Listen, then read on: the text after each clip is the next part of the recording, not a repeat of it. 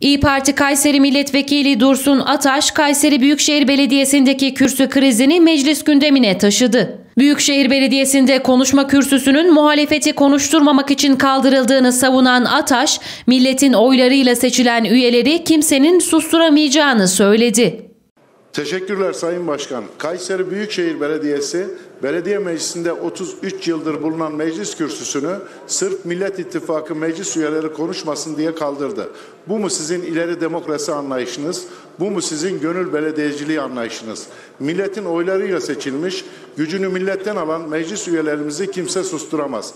Kayseri'de vatandaşın takdirini kazanmış İyi Parti meclis üyeleri kürsü olmadan da vatandaşın sorunlarını dile getirir. O sorunların sonuna kadar takipçisi olur.